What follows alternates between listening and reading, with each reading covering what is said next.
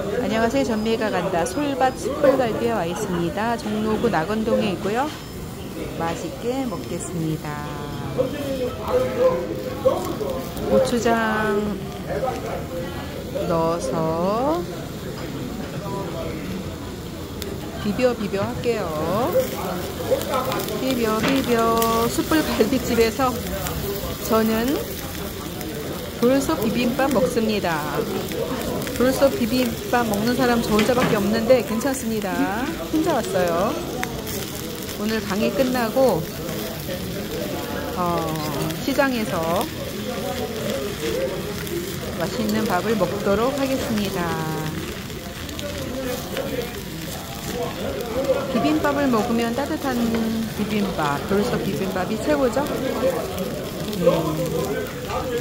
음. 맛있게 먹겠습니다. 감사합니다. 맛있는 국물, 김치와 반찬. 아, 여기 엄청 큰데요? 엄청 커서 잘 되고 있네요. 맛있게 먹겠습니다.